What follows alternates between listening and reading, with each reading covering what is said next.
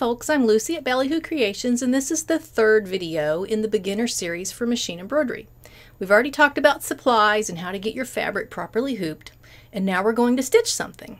But first, I need you to do something extremely dull and boring. I need you to read the manual that came with your machine.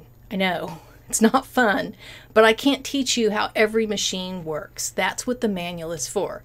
If you really want to ignore that manual, at least go and watch some YouTube videos about how to thread your machine, how to insert the bobbin, how to start and stop the machine, and how to pull up a design to stitch. Somebody has probably already made a video for your particular machine on those topics.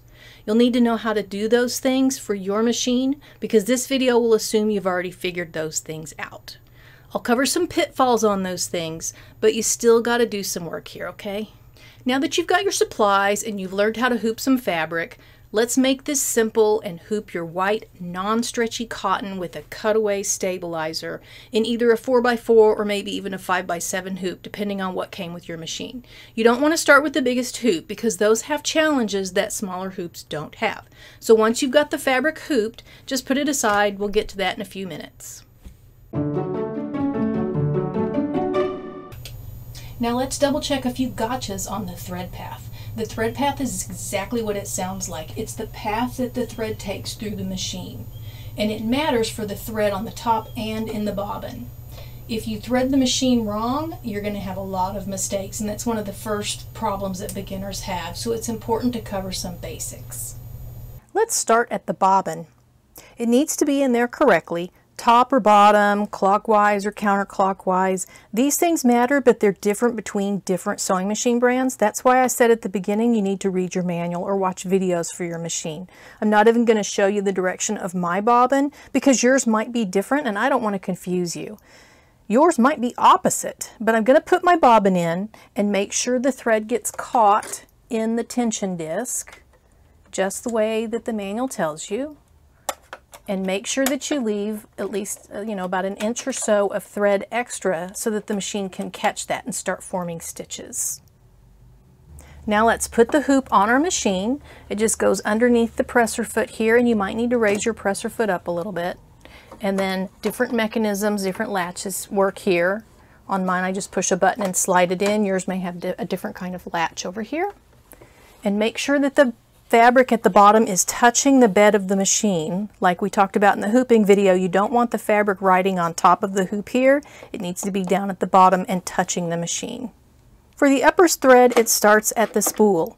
Your spool goes on the spool pin and there may be a spool cap that goes on top of that to keep the spool in place. Spool pins can usually go vertical so that the thread is standing up or they can go horizontal so the thread is lying sideways. Your spool pin can go on whether your thread is vertical or if it's horizontal sideways. That keeps the, the spool in place. The felt pad isn't really needed when your spool is sideways like this, but when your thread is vertical, you definitely need that felt pad under there to make sure that the spool can glide easily. And then the cap will keep the thread from bouncing around. You don't want it too tight so that the thread can still move, but you don't want the thread to pop off. If you're using a separate thread stand like I have back there behind my machine, you still have to thread everything all the way through the machine.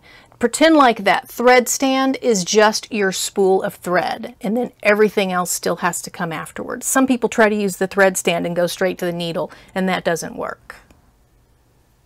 Machines have a little button like this one, maybe on a different place on your machine, but this is for winding the bobbin thread. It has nothing to do with the top thread, and sometimes people will think that it needs to go through there somehow and try to wrap it around. This is going to mess up your embroidery big time. So make sure that it does not go through that little springy tension button. That's only for winding bobbins. When does your thread need to stand upright and when can it lay down sideways? I'll show you that secret. This is called a cross-wound spool. You see how the threads are on there diagonally this way and then some of them go horizontal and then diagonal. This is called cross-wound and these spools are meant to go on sideways like this and you have to make sure that you put that spool cap on so that it won't fall off. And these threads are intended to go this way. They unspool off of the top in a nice easy manner. That's the cross wound spool that goes sideways. The other type of spool is called a stacked spool, and you see how there's no diagonals in here. This is just wound um, straight across, straight lines here. Just like if you were winding a bobbin, it would be a stack wound like this. And these spools need to actually go vertically, and you need to have that felt pad underneath, and you can put the spool cap on top to keep it from bouncing up and down, but you don't want it too tight on there. And these threads, or these spools, make the spool spin as it pulls the thread off. And that way it comes off nice and even. So that's the difference between a vertical and a sideways. Cross wound needs to go sideways and the stacked spool needs to go vertical up and down. When the thread comes off the spool, it first needs to go into some kind of thread guide. Yours may look different. And then it goes up and around through the tension discs. Again, your machine may look different, but there will always be from the spool to a thread guide through the tension somewhere. This is super important. Guess what opens those tension discs and keeps them open or closed? It's actually your presser foot down here. And uh, mine has a button that I can put the foot down or raise it up again. And when that foot is down, the tension discs close and clamp the thread together. When the foot is up, the discs open up and let the thread in. So while you're threading your machine through the tension discs up here, you need to make sure that the presser foot is raised up. If the presser foot's down, the thread will not go into your tension disc properly and you'll have a whole mess when you try to embroider. So make sure your foot is up and then you can thread the machine through the tension. After the tension discs, your thread needs to go through the take-up lever which is something like this. And it does need to go in a, partic a particular order, like down, up, down, or something like that. It seems weird, but it really does need to go several times. Like mine shows it goes down, then up, then down again.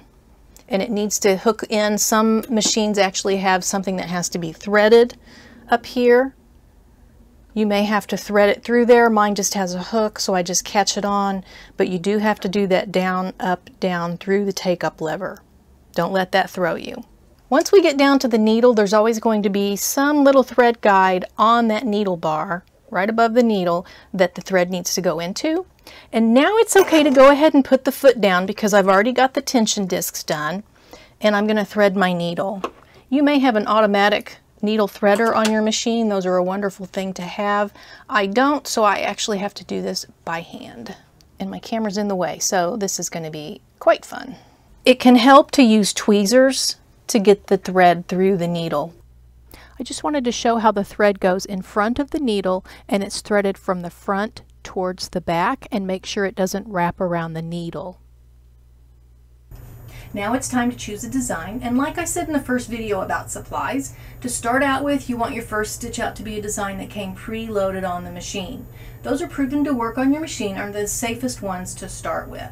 You'll have plenty of time to stitch out all the gorgeous designs on the internet later on. Take the time to practice on stuff that you don't really have any intention of keeping. So if it's not perfect, you won't mind throwing it away.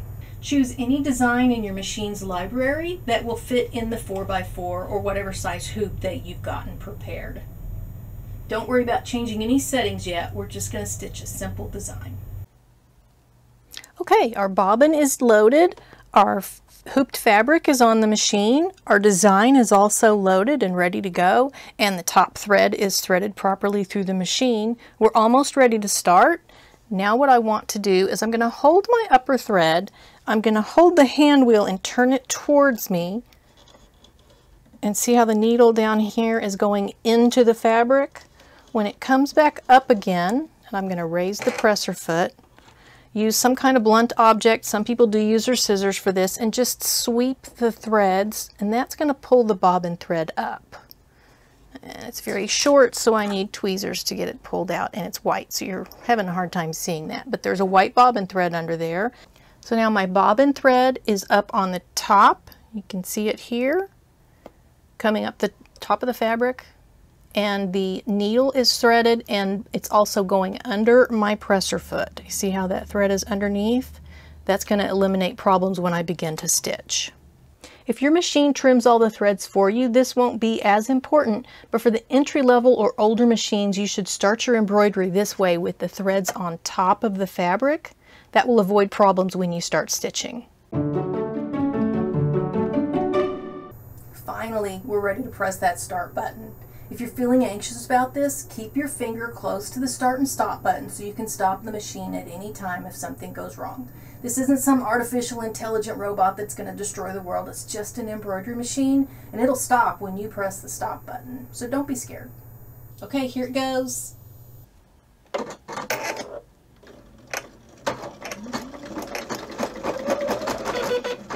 Now my machine beeps at me to tell me that I need to cut the threads because I don't have an automatic thread cutter. So I'm going to go ahead and cut the threads off right next to the fabric with my little curved embroidery scissors that we talked about in the supplies. And I'm going to press start again and it will continue. As the design stitches, keep an eye on it. If you turn your back, the machine goblins will creep in and mess things up, or at least that's what any experienced sewist will tell you.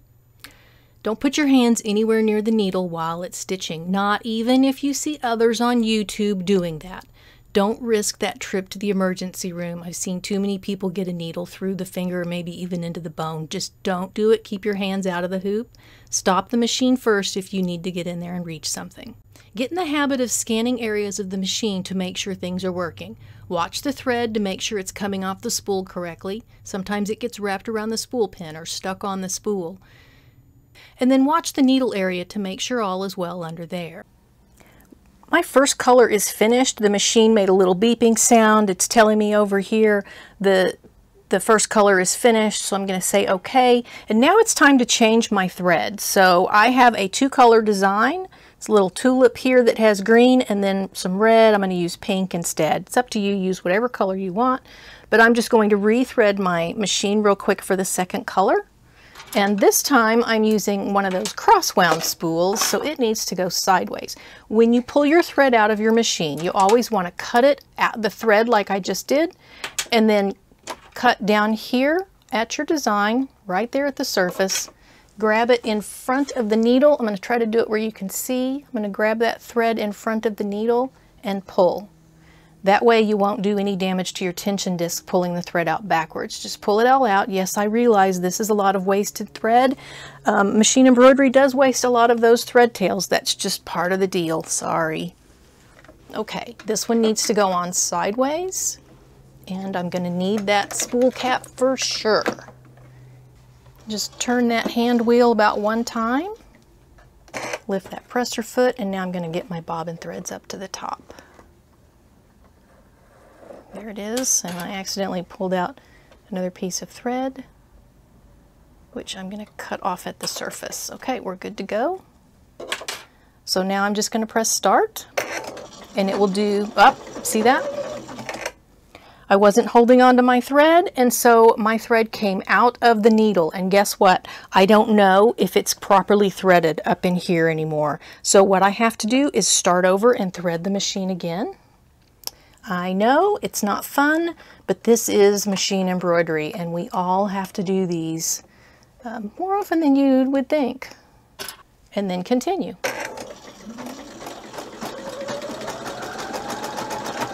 Check that your hoop isn't hitting anything. And I should have mentioned this earlier, but make sure your machine has plenty of room around it so the hoop doesn't hit anything while it's running. We've all messed that up too. When that hoop hits something, the stitches get out of whack and mess up the design but try to watch out for that. So let's take a look at our design. And this is the front of the design. We want to make sure that our stitches are nice, smooth, and even. These look very nice, nice even edges. This looks really good. Once you get a successful stitch out, try other designs on your machine. Try moving a design around to a new place in the hoop, or try making it larger or smaller. Play with the alphabets on your machine. Just play. Get comfortable with it. Have some fun. Try bigger hoops if your machine has them. Play with designs from the internet or special projects. Try out new threads or stabilizers. There's so many things you can do with your embroidery machine. There are more videos in this beginner series that will show you how to move beyond the basics and into some advanced territory with new stabilizers, new threads, new fabrics. So look for those videos to take your machine embroidery skills further.